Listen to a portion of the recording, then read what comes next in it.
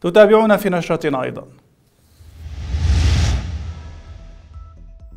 محافظ أربيل يعلن تخصيص مليارات الدنانير للحد من شح المياه ولمواجهة الجفاف وشرطة أربيل تنفذ حملة على المساجد وتعتقل 48 متسولا غالبيتهم من النساء والأطفال. وتركيا تعلن مقتل جندي آخر في المعارك مع حزب العمال شمالي العراق.